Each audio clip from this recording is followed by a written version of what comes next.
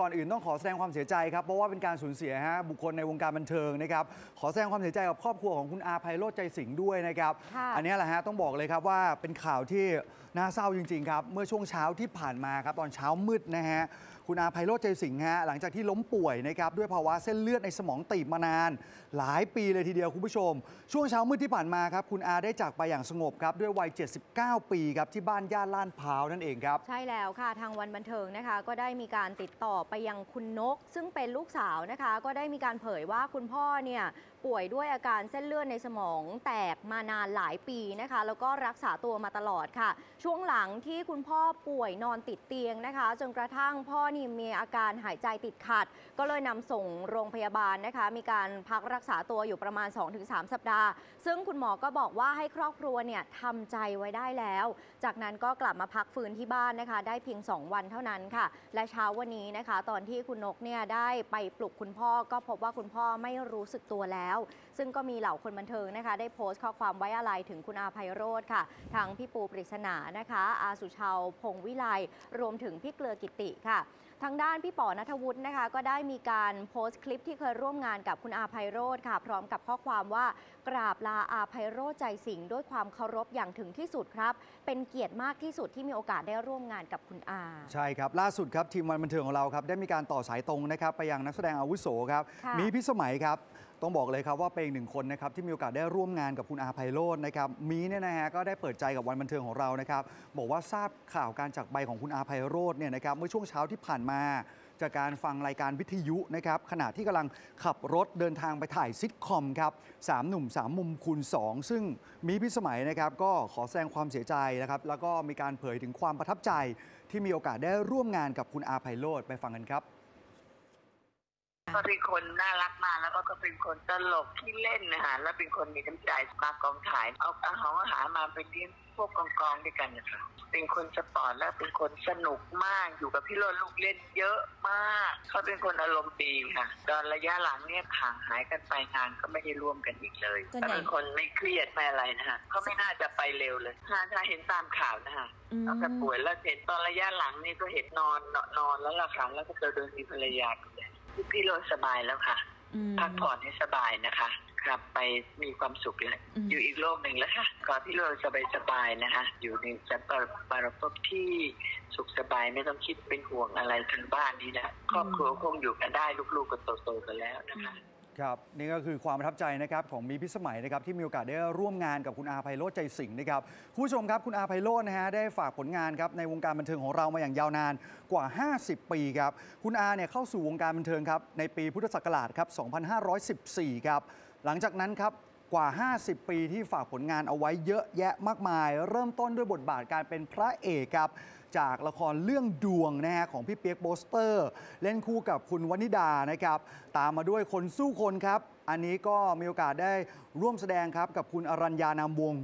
นะครับแล้วก็ยังมีผลงานตามมาอีกเยอะแยะมากมายครับไม่ว่าจะเป็นบทพระรอง บทร้าย บทตัวตลกนะครับแล้วก็อีกเยอะแยะมากมายกว่าร้อยเรื่องเลยทีเดียวครับ ใช่แล้วค่ะ ต่อมาอาไพโรจน์นะคะ ก็ล้มป่วยสุดลงเรื่อยๆ ค่ะ ระหว่างที่ป่วยเนี่ยทางครอบครัวก็ได้ดูแลเป็นอย่างดีนะคะ แล้วก็ได้มีการทำสังฆทานผ้าคุณหนูเยื่อไผ่ขายค่ะ เพื่อเป็นการ มาเป็นค่ารักษาพยาบาลนะคะ โดยยืนยันว่าไม่ขอรับบริจาคแต่อย่างใด ถึงแม้ว่าค่าใช้จ่ายในการรักษาเนี่ยจะค่อนข้างสูงมากก็ตาม แต่ทางครอบครัวก็ได้ดูแลคุณอาอย่างดีที่สุดนะคะ ก่อนจะจากไปอย่างสงบเมื่อช่วงเช้าที่ผ่านมาค่ะ ส่วนพิธีบำเพ็ญกุศลศพนะคะ ในวันนี้ก็จะเกิดขึ้นเวลาประมาณ4ี่โมงเย็นค่ะ จะมีพิธีรดน้ำศพ และสวดพระอภิธรรมนะคะ ที่ศาลาหนึ่งวัดลาดพร้าวยังไง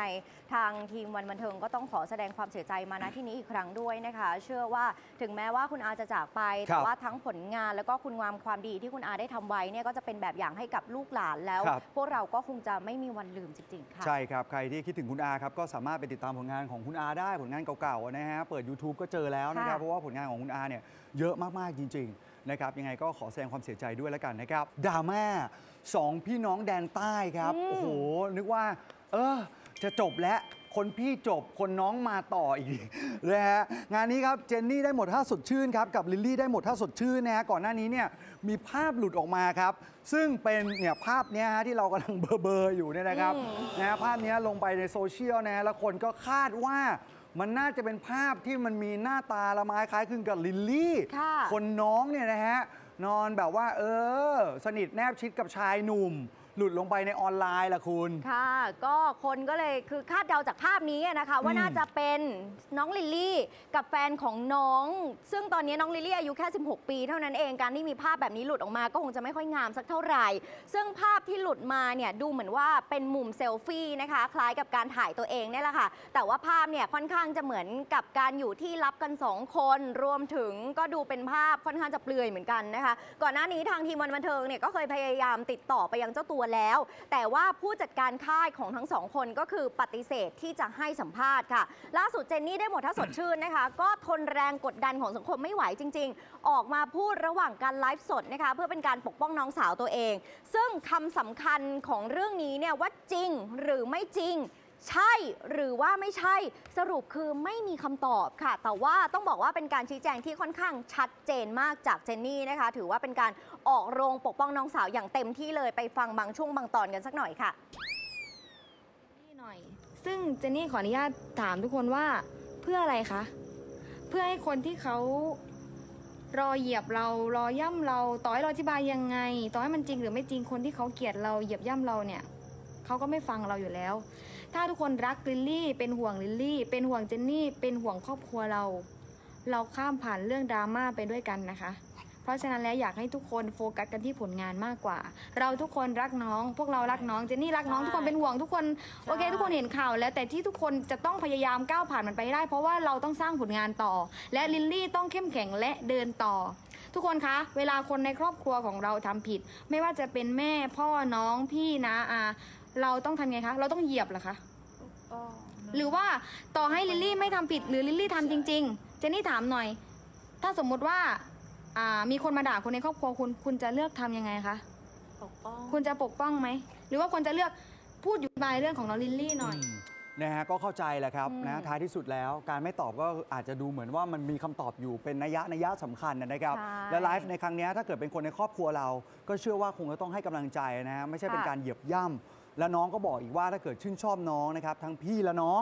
ขอให้ติดตามที่ผลงานเพลงดีกว่าอืมนะครับ อันนี้ก็เป็นเรื่องจริงครับ เราชื่นชอบเขาเป็นศิลปินเนาะค่ะก็อยากให้ติดตามเขาในผลงานที่เป็นศิลปิน บทบาทของการเป็นศิลปินละกันนะครับ ใช่แล้วค่ะอะมาต่อกันที่เรื่องของการแพร่กระจายของเชื้อโควิด -19 นั่นเองนะคะคุณผู้ชมค่ะ ตอนนี้เนี่ยต้องบอกว่าพบผู้ป่วยคลัสเตอร์กลุ่มใหญ่นะคะกระจายเชื้ออยู่รอบตลาดรังสิตจนถึงปทุมธานีค่ะ ซึ่งหลายคนก็ทราบข่าวว่าพระเอกของช่องวัน 31 อย่างหนุ่มเจษเจษฎ์พิพัฒเนี่ยเป็นทายาทตลาดใหญ่ย่านรังสิตนั่นก็คือตลาดพรพัฒน์นั่นเองนะคะ ซึ่งกำลังได้รับผลกระทบจากโควิด -19 อย่างหนักเลยทีเดียว เจดก็ยอมรับว่าตอนนี้ครอบครัวค่อนข้างเครียดมากนะคะแล้วก็เป็นห่วงกับผลกระทบที่เกิดขึ้นกับธุรกิจครอบครัวเหมือนกันไปฟังหนุ่มเจดกันค่ะ เราเป็นห่วงเรื่องของภาพลักษณ์ที่มันจะออกไป ที่คนจะคิดว่าแบบมันอันตรายมากไหมอะไรอย่างเงี้ยคือเราทำตามมาตรการมาตั้งแต่ปีที่แล้วที่ระบาดรอบแรก เราก็ทำอย่างต่อเนื่องมาตลอดบิ๊กคลีนนิ่งอยู่แล้วครับ ใช่ อันนี้ทำหลายรอบมากๆแล้ว หลายๆ อย่างที่ที่ที่สบคบอกว่า เราควรจะต้องปรับปรุงเรื่องของแสงสว่างหลังคา พ่อผมก็เปลี่ยนเป็นหลังคาใสให้มันมีแสงสว่างแล้วก็ไม่ได้อยากจะแบบว่าปิดไปนานๆอะไรเงี้ยคืออะไรที่เราทำได้ในเบื้องต้นเราก็ทำก่อน ในระยะยาวก็เดี๋ยวว่ากันอีกทีปิดอยู่ครับเขาปิดเบื้องต้น 9 วันครับก็พยายามทำให้เต็มที่แหละครับ แต่ว่าไม่อยากให้คนมาคิดว่ามันน่ากลัว ไม่มีใครอยากเป็นคนแพร่กระจายแล้วก็ทุกคนก็ทำมาตรการตัวเองให้ดีที่สุดอยู่แล้วครับตรวจให้ละเอียดมากขึ้นก็ต้องทำให้มันดีขึ้นนะครับทั้งที่ผมด้วยแล้วก็ที่อื่นๆด้วยผม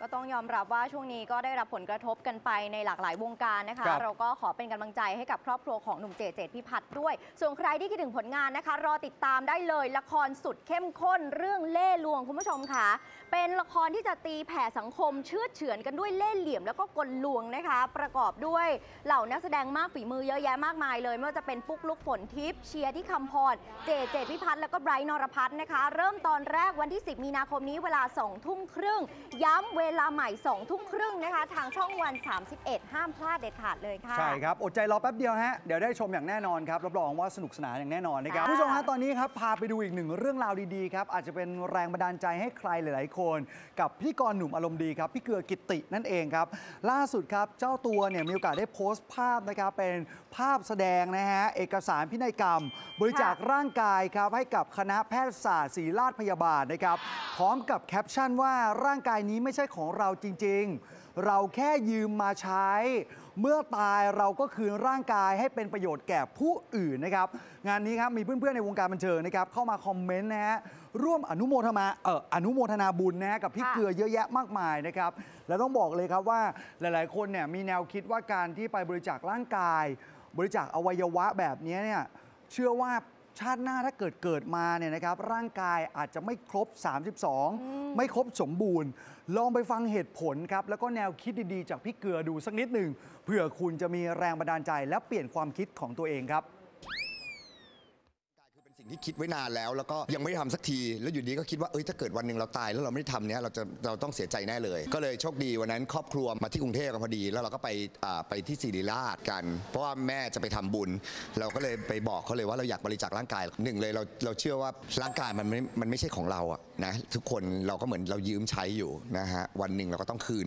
ร่างกายนี้สู่ธรรมชาติฉะนั้นไหนๆเราก็ตายแล้ว ถ้าเกิดว่าร่างกายเราเนี้ยจะได้ทำประโยชน์ให้กับคนอื่นแล้วก็เราก็ยินดีที่จะมอบให้ตอนแรกชวนจะชวนเมียทำเมียบอกทำแล้ว เมียบริจาคทั้งสองที่เลย คือเมียบริจาคอวัยวะด้วย แล้วก็บริจาคร่างกายด้วย คือส่วนใหญ่ทุกคนจะคิดเห็นเหมือนกันหมดว่าเอาจริงๆแล้วคือ ถ้าเราจากกันก็คือเราจากกันนะนะเราไม่ต้องมานั่งพะวงเรื่องของการทำโศพอะไรปาอะไรวอนเพราะเราคิดว่าถ้าถึงตรงนั้นเราอาจจะไม่รู้แล้วก็ได้ ไม่ต้องมานั่งแสดงความเสียใจกันตรงนี้ ฉะนั้นเรารักกันตรงเนี้ยเราผูกพันกันตรงเนี้ย ทุกคนได้รับรู้แล้ว ส่วนหนึ่งที่ผมบริจาคก็ส่วนหนึ่งเพราะว่าผมแบบ อยู่กับพุทธศาสนามาช่วงนี้เราก็อินนะก็แบบว่างดดื่มบ้างปฏิบัติธรรมนั่งสมาธิสวดมนต์บ้างอะไรเงี้ยสุดท้ายเราก็ค้นพบว่าสุดท้ายมันมันก็อยู่ในไตรลักษณ์แหละร่างกายพระพุทธเจ้าก็บอกแล้วนะมันไม่มีอะไรอยู่ยั้งกับเรานะเกิดขึ้นตั้งอยู่แล้วดับไป อืม ขออนุโมทนาบุญกับพี่เกลือด้วยนะคะ จริง ๆ แล้วเนี่ยมันก็เป็นเรื่องของความเชื่อ แล้วก็ความพึงพอใจ เรียกว่าเจตนารมณ์ของแต่ครัละบ คนนะคะ ก็ขออนุโมทนาบุญด้วยอีกครั้งจริง ๆ ค่ะ และใครนะคะที่อยากจะติดตามผลงานของพี่เกลือกิตินะคะ ก็ไม่ใกล้ไม่ไกลค่ะ ช่องวัน 31 ของเรานี่แหละ ทั้งซิทคอมเป็นต่อ 2021 นะคะ ทุกคืนวันเสาร์เวลา3ทุ่ม15 นาที รวมถึงรายการเกลือวันเดอร์ค่ะ ทุกวันเสาร์เวลา4ทุ่ม15 นาทีทางช่องวัน 31 แต่จริงๆแล้วรายการของเราเนี่ยดีตลอดตั้งแต่เช้าจดค่ำเลยทีเดียวเปิดนะคทิ้รับงไว้เลยนะคะ ถูกต้องแล้วครับ